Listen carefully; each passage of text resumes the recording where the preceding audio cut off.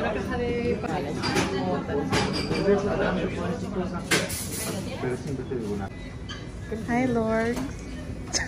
Hi.